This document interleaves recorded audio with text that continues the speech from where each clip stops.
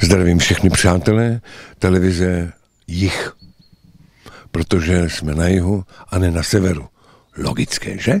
S Pavlem Novým jsme se setkali v rámci natáčení prvního ryze břeclavského filmu, jehož výrobě se právě v těchto dnech tvůrci Dušan Hanuš a Jakub Hotař věnují. Sci-fi pohádka s názvem Břecliv pojednává o tom, jak by to vypadalo, kdyby nedošlo k sametové revoluci. Je to vlastně příběh uh, dvou bratrů, je to vlastně příběh o Adamovi a o Josefovi, kteří vlastně mají řekněme, takové pohostinství hospodu, kterou už tady mají strašně dlouho. Vlastně jednomu z nich se stane něco, jakoby má prostě ten blbec a trošku jakoby kleje nebo prostě nadává na něj. Stěžuje si vlastně jedinému uh, štangastovi v hospodě, tím je vlastně náš kouzelný dědeček, pan Pavel Nový a on si prostě stěžuje, že už ten den nemůže být horší, že prostě jako prostě všechno se proti němu spiklo a prostě nemůže to být horší.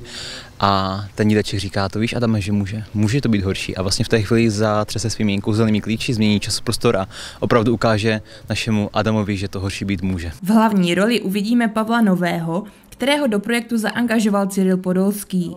Ten se na filmu podílí jako jeho supervizor. Za vším je Cyril, který je takovým hybatelem takových věcí a je to můj kamarád a mně se tady líbí v Břeclavi, máte tady dobré víno, jsou tady skvělí lidé a vůbec je tady všeobecně pěkně.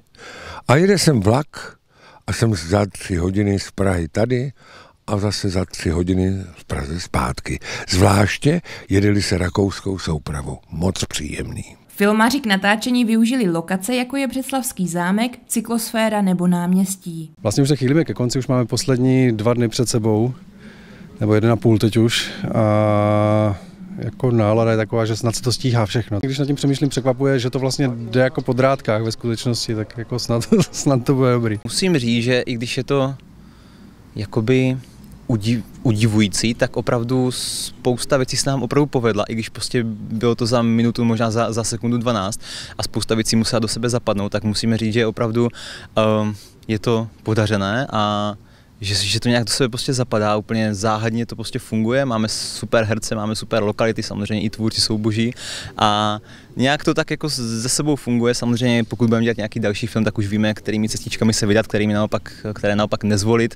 Eh, je to náš první film, tak se trošku učíme za pochodu, ale to je asi tak normální. Na hudební stránce filmu se podílí Radim Pacal a Svatopluk Hřebačka, zakládající členové populární kapely IVM. Teď jsme ve fázi, že vlastně máme nastřelené nějaké náměty, máme v podstatě předpřipravený hlavní, hlavní single, který by si měl potom objevit eh, v tom samotném filmu jakože na konci a chystáme se do studia. Jak to bude žánově? Bude to odlišné od vaší kapelové tvorby, ta hudba pro film? E, ne, nebude to. Samozřejmě v tom filmu se objeví prvky trošku, aby to jako zapadlo spíše do toho filmu, ale jako ten hlavní single to budeme zase my, standardní, protože my to ani neumíme, abychom dělali něco účelově, to vždycky špatně dopadne, takže čistě co z nás leze. Ta hudba jako taková k tomu filmu, ta podléhá tomu scénáři, že?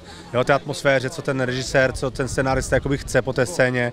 Eh, někdy se, my jsme měli schůzku, někdy jsme se třeba zhodli, a někde jsme to cítili trošku jinak my, trošku jinak režisér, našli jsme nějaký kompromis, jak, jak se k tomu postavit ale asi, asi tam ten rukopis nějaký náš bude, protože primárně děláváme se Svatou spolu, takže eh, to, že tam je nějaký, nějaké, nějaké tematické záběry a nějaké tematické eh, prvky hudby, to je sice hezké, ale pořád tam ten rukopis hudební bude. Single, jak říkal Svatě, to je, to je jasné, jo? Tam, tam je to vyloženě IVM. Tam to i pod hlavičkou IVM bude. Ta hudba se dělá pod hlavičkou nás dvou jako autorů, eh, jakože hudba Pacal Hřebačka, ale ten single bude pod hlavičkou IVM. Tak bude i vydáván, předpokládáme, že bude i v rádích, že se s firmou udělá klip který potažmo potom bude na YouTube a tak. Na premiéru se můžete těšit v prosinci 2019.